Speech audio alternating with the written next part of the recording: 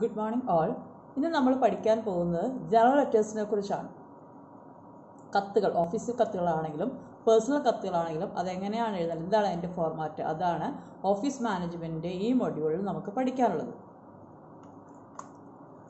Letter writing എന്ന് പറഞ്ഞാൽ ആശയവിനിമയം തന്നെയാണ്. ആശയവിനിമയം പേപ്പറിൽ എഴുതിയോ അല്ലെങ്കിൽ പ്രിന്റഡ് ആയിട്ട് നമ്മൾ കൊടുക്കുന്നതിനാണ് നമ്മൾ ലെറ്റർ റൈറ്റിംഗ് എന്ന് പറയുന്നത്. നമ്മൾ ഇൻവേർഡ് മെയിൽ അല്ലെങ്കിൽ outward mail handling of mail ആ ചാപ്റ്ററിനകത്ത് നമ്മൾ പഠിച്ചു. റിട്ടേൺ കമ്മ്യൂണിക്കേഷനെയാണ് നമ്മൾ മെയിൽ എന്ന് വിളിക്കുന്നത്. അപ്പോൾ എല്ലാ ഓഫീസുകളിലും നമുക്കറിയാം കമ്മ്യൂണിക്കേഷൻ അല്ലെങ്കിൽ ലെറ്റർ റൈറ്റിംഗ് ഇല്ലാതെ പറ്റത്തില്ല. റിട്ടേൺ കമ്മ്യൂണിക്കേഷൻ ഇല്ലാതെ പറ്റില്ല. ഒരു അതൊരു എസെൻഷ്യൽ തിങ് ആണ് ഒരു ഓഫീസിനെ സംബന്ധിച്ചോളം. അപ്പോൾ ഒഫീഷ്യൽ ലെറ്റർ മാത്രമല്ല പേഴ്സണൽ ലെറ്ററുകളും ഉണ്ട്. അപ്പോൾ ലെറ്റേഴ്സിനെ നമുക്ക് രണ്ടായിട്ട് പൊതുവെ തരംതിരിക്കാം.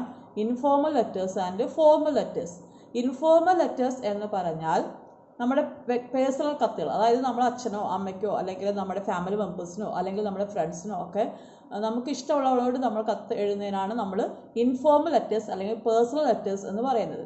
ഫോർമൽ ലെറ്റേഴ്സ് അല്ലെങ്കിൽ ബിസിനസ് ലെറ്റേഴ്സ് എന്ന് പറഞ്ഞാൽ എന്ത് തരം ഒഫീഷ്യൽ കമ്മ്യൂണിക്കേഷൻ ഔദ്യോഗികമായി നമ്മൾ ചതുരവടിവിൽ ഔദ്യോഗികമായി നമ്മൾ കത്തെഴുതുന്നതിനാണ് നമ്മൾ ഫോർമൽ ലെറ്റേഴ്സ് അല്ലെങ്കിൽ ബിസിനസ് ലെറ്റേഴ്സ് എന്ന് പറയുന്നത്. അത് ബിസിനസ് കമ്പനികൾ പരസ്പരമുള്ള കത്തുകളാകാം. കമ്പനി കസ്റ്റമറിന് എഴുതുന്ന കത്തായിരിക്കാം. അല്ലെങ്കിൽ ഒരു കമ്പനി ഗവൺമെന്റ് എഴുതുന്ന കത്തായിരിക്കാം. അല്ലെങ്കിൽ ഗവൺമെന്റ് കറസ്പോണ്ടൻസ് ആയിരിക്കാം. അതെല്ലാം വരുന്നത് ഫോർമൽ ലെറ്റേഴ്സിന്റെ അകത്താണ് വരുന്നത്.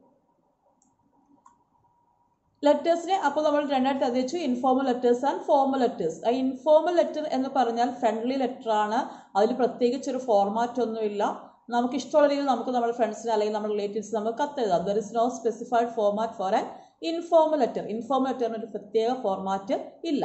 എന്നാൽ അതേസമയം ഫോർമൽ ലെറ്റേഴ്സ് ബിസിനസ് പ്രൊഫഷണൽസ് എഴുതുന്നതാണ് അവർ സ്പെസിഫിക് ഒബ്ജക്റ്റ് ഒരു പ്രത്യേക ഉദ്ദേശത്തോടു കൂടിയായിരിക്കും ഓരോ കത്തും. ഗവൺമെന്റ് എഴുതിയാലും ശരി അല്ലെങ്കിൽ നമ്മുടെ ബിസിനസ് ഓർഗനൈസേഷൻ എഴുതിയാലും ശരി അവരുടെ കമ്പനിക്ക് എഴുതിയാലും അവർ അവരെ ഒരു കസ്റ്റമർക്ക് എഴുതിയാലും there is an objective in their mind അവരുടെ ആ ഒബ്ജക്റ്റീവ് ആ ഒബ്ജക്റ്റീവ് ഏറ്റവും ലളിതമായ ഭാഷയിൽ എന്നാൽ വായിക്കുന്ന ആർക്കും നല്ലതായി മനസ്സിലാകുന്ന വിധത്തിലായിരിക്കും ആ കത്ത് അവർ എഴുതുക അപ്പോൾ ആ ലാംഗ്വേജ് അല്ലെങ്കിൽ ആ ആർട്ട് ഓഫ് റൈറ്റിംഗ് അതൊരു സ്പെസിഫൈഡ് മാനറിലായിരിക്കും അതുകൊണ്ടാണ് നമ്മളെ വളരെ അങ്ങനെയുള്ള കത്തുകളെ ഫോർമൽ ലെറ്റേഴ്സ് എന്ന് വിളിക്കുന്നത്.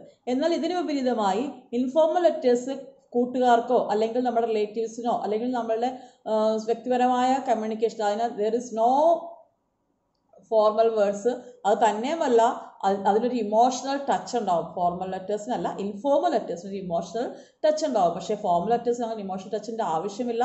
അവിടെ ഒരു സ്പെസിഫിക് ഒബ്ജക്റ്റീവിന് വേണ്ടിയിട്ട് ഒരു കമ്പനി വേറൊരു കമ്പനിക്ക് അല്ലെങ്കിൽ ഒരു കമ്പനി ഒരു കസ്റ്റമർക്ക് എഴുതുന്ന കത്തുകളെയാണ് അങ്ങനെയുള്ള കത്തുകളാണ് അല്ലെങ്കിൽ ഗവൺമെന്റ് കത്തുകളാണ് നമ്മൾ ഫോർമൽ ലെറ്റേഴ്സ് സാധാരണയായിട്ട് വിളിക്കുന്നത്.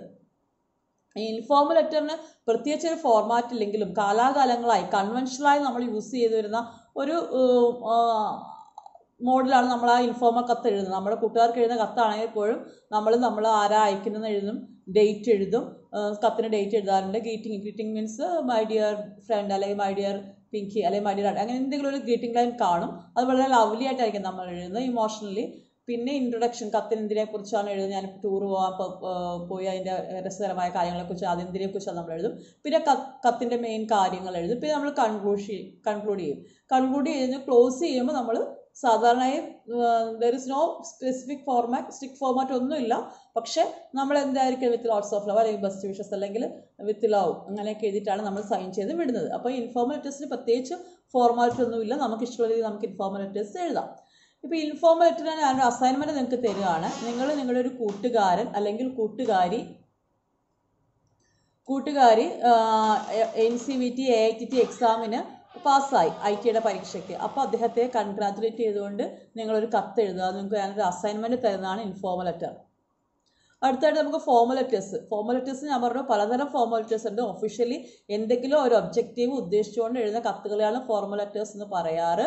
ബിസിനസ് ലെറ്റർ അതായത് ബിസിനസ് കമ്പനി എഴുതുന്ന ലെറ്ററുകളാണ് ബിസിനസ് കമ്പനി ടു കമ്പനി ലെറ്ററുകൾ ആപ്ലിക്കേഷൻ ലെറ്റർ നമ്മൾ എഴുതുന്ന ലീവ് ആപ്ലിക്കേഷൻ ലെറ്റർ അല്ലെങ്കിൽ നമുക്കൊരു ജോലി വേണം അതിന് ജോബ് ആപ്ലിക്കേഷൻ ലെറ്റർ അങ്ങനെ എന്ത് തരം ആപ്ലിക്കേഷൻ അപേക്ഷ ലെറ്റർ അപേക്ഷയുടെ കൂടെ നമ്മൾ ജോബ് ആപ്ലിക്കേഷൻ ആണെങ്കിൽ അപേക്ഷയുടെ നമ്മൾ സി വിയും ബയോഡാറ്റയൊക്കെ വെക്കാറുണ്ട്. പിന്നെ ഗവൺമെന്റ് ഓർഡേഴ്സ് അതും ഒരു ഫോമൽ ലെറ്റേഴ്സ് തന്നെയാണ്. പിന്നെ സർക്കുലർ എന്തെങ്കിലും കാര്യം എല്ലാവരും അറിയിക്കുന്നതാണ്. നമ്മൾ മലയാളത്തിൽ ചുറ്ററിയിപ്പ് എന്ന് പറയും സർക്കുലേഴ്സ് പിന്നെ വേറെ ഏത് ഒഫീഷ്യൽ കറസ്പോണ്ടൻസ് ബാങ്കിങ്ങിന്റെ കറസ്പോണ്ടിങ് ആവട്ടെ എൽ ഐ സിയുടെ ആവട്ടെ അല്ലെങ്കിൽ നമ്മൾ ബാങ്കിൽ എഴുതുന്നൊരു കത്താവട്ടെ അല്ലെങ്കിൽ നോട്ടീസ് ആവട്ടെ അല്ലെങ്കിൽ നമ്മൾ പത്രത്തിന്റെ എഡിറ്റർക്ക് ഒരു കത്ത് എഴുതാവട്ടെ എഡിറ്റർ ടു ദ ലെറ്റർ എന്ന് പറഞ്ഞാൽ അറിയില്ല ഇന്ത്യൻ എക്സ്പ്രസിന്റെ ഒക്കെ സൈഡിൽ അപ്പോൾ ഈ കത്തുകളെല്ലാം നമ്മൾ ഫോർമൽ ലെറ്റേഴ്സ് എന്നാണ് പറയുന്നത്. ഇതിലെല്ലാം പ്രിസ്ക്രൈബ്ഡ് ഫോർമാറ്റ്സ് ഉണ്ട്. നമ്മളെ സംബന്ധിച്ച് സെനോഗ്രാഫർ ആൻഡ് സെക്രട്ടറി ലെസ്റ്റിൻ ഇംഗ്ലീഷ് ട്രേഡ് അല്ലെങ്കിൽ സെക്രട്ടറി പ്രാക്ടീസ് ട്രേഡ് എന്ന് പറയുമ്പോൾ നമ്മളെ കൂടുതലും നമ്മൾ പഠിക്കേണ്ടത് ഫോർമൽ ലെറ്റേഴ്സിനെ പറ്റിയാണ്. Business order government order business letters